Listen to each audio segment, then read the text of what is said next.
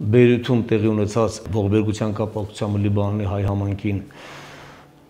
ֆինանսական եւ նյութական օգնություն ցուցաբերելու աշխատանքները արդեն սկսված են։ Արցախի հանրապետության նախագահի կողմից ստեղծվել է աշխատանքային խումբ, հրամանագրով շտաբը գործում է եւ արդեն իսկ ունենք ծրագիր մշակված են ռազմավարություն եւ բոլոր գերատեսչությունները, բոլոր անհատներ, գործարարներ իրազեկման աշխատանքներ է գնում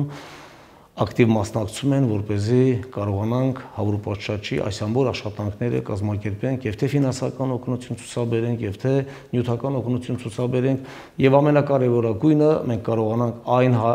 համերկրացիները Լիբանանահայերից, ովքեր ուզում են դառնալ Հայաստան, Արցախ, կարողանանք բարձր մակարդակի ընդունել եւ ինտեգրման այդ աշխատանքները կատարել։ Այս աշխատանքները գնում են եւ կարծում եմ շուտով մենք արդեն առաջին մարդկանց պետք է դիմավորենք, արդեն զանգերը կան, պայմանավորվածությունները կան,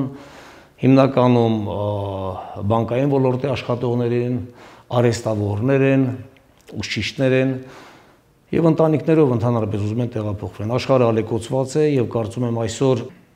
մենք չենք խորախոսում, որ մարդիկ մեր գարտողջակները հայաթափվեն, ուղղակի մենք գիտակցում ենք, որ մեր համերկարացիների կողքին պետք է լինենք նամանավանդ, որ